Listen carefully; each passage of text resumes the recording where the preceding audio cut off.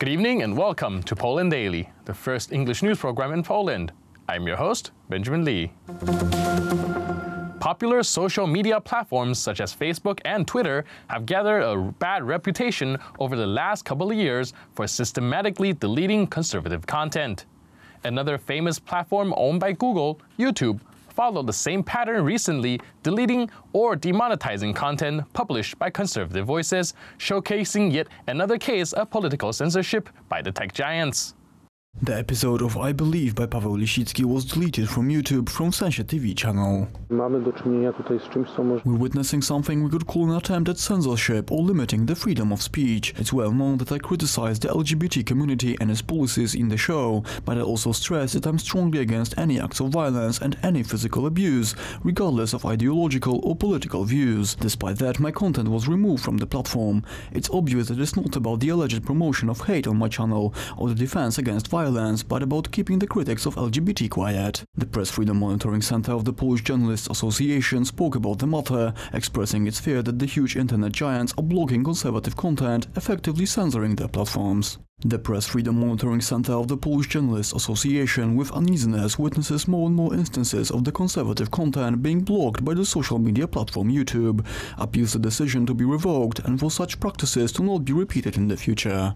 According to columnist Jacek Patan, everything on the internet is being monitored since information can also be a weapon.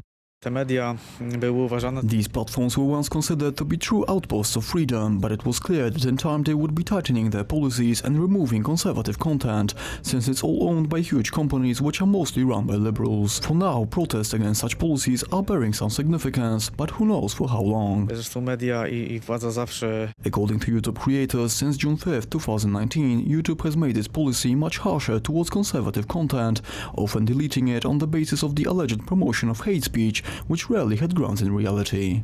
20 dead and 29 injured in a shooting in El Paso, Texas. The perpetrator was a young man who was apprehended by the police after a few hours in the Dallas suburbs. Our correspondent from Los Angeles, Małgorzata Schultz, has more. At this point, it seems that this was the largest shooting in the United States in the last few months, with the highest number of lives claimed. The investigation will last probably for a few weeks and certainly for a few days. It's a terrible, terrible tragedy that has hit the United States. There is another question about security. Why was there no protection in the Walmart? Why was the perpetrator able to walk down the street with a weapon for six whole minutes? He wore a rifle so it was visible. It was not a small pistol, it was a huge shotgun. In addition, the same type of weapon was used by the perpetrator at the California Festival a week ago. Sprawca był w stanie chodzić. The first massacre occurred on Saturday morning in the heavily Hispanic border city of El Paso, where a gunman killed 20 people at a Walmart store before surrendering to police. Texas Governor Greg Abbott said the rampage appeared to be a hate crime, and police cited a manifesto they attributed to the suspect, a 21 year old white man, as evidence that the bloodshed was racially motivated.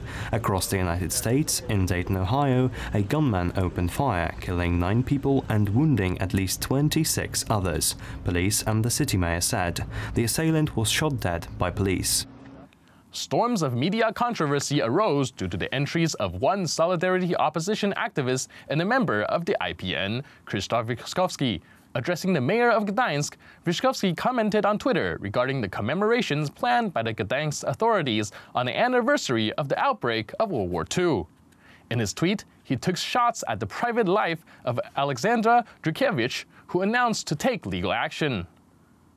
Dulkiewicz does not even know who the father of her daughter is, so it's not strange that she chose a German fraud and Jewish racketeer for her inept madness on the anniversary of the war. Citizens of Gdańsk, wake up and send this Tuskoid band of anti-Poles to the nut house.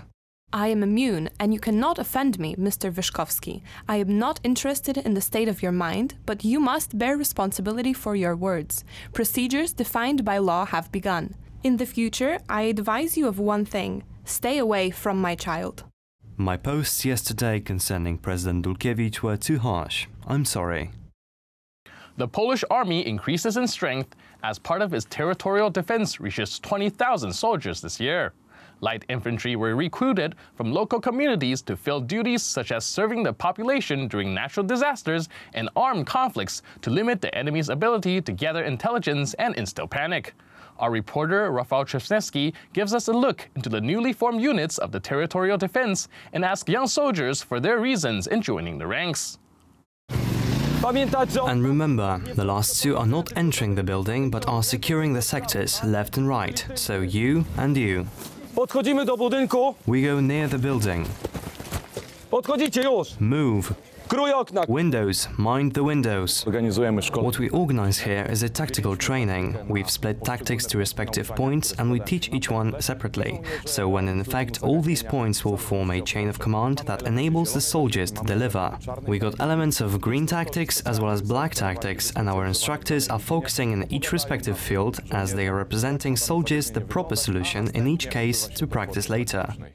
Zobaczcie. Look, if you go out here securing this sector, so you can cut out your own sector this way, Ten sektor tutaj.